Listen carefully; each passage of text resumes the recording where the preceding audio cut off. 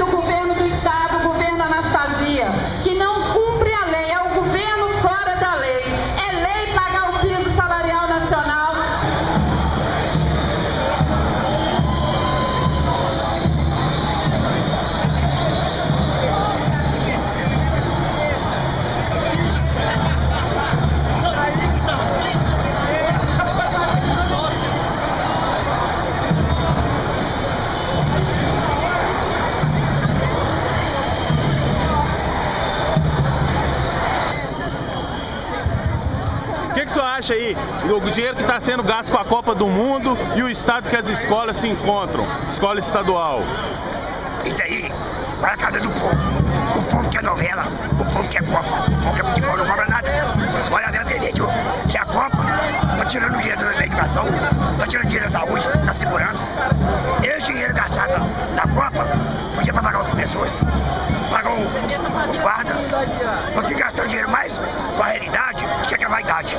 Estou empregando dinheiro na vaidade e deixando as necessidades. Mas o povo não cobra. O povo tem que acordar, ué. Acorda, brasileiro!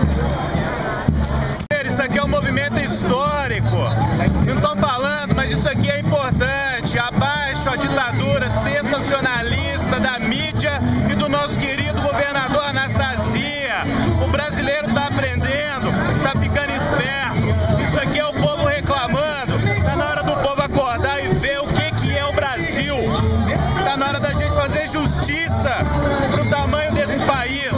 Um paraíso, um país de riqueza, mas que até hoje o povo está na pobreza, está na miséria. A gente vai mudar isso aí. É, eu penso que o policial pedindo um piso de 4 mil reais, nós, educadores, que cobrando um piso de 1.500, isso para nós é um vexame, porque a segurança não pode ser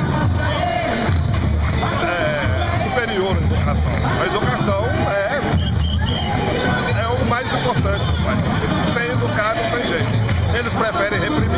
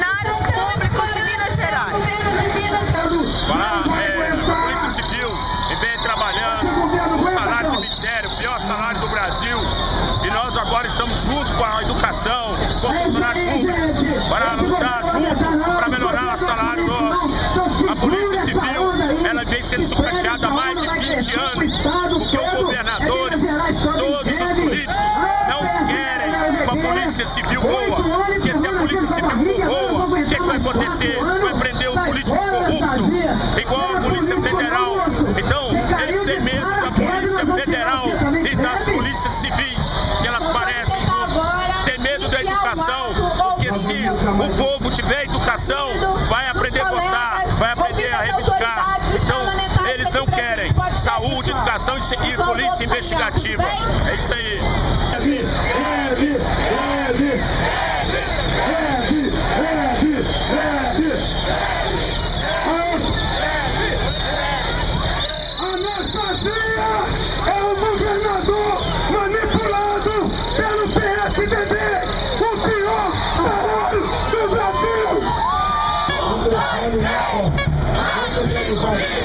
Oh.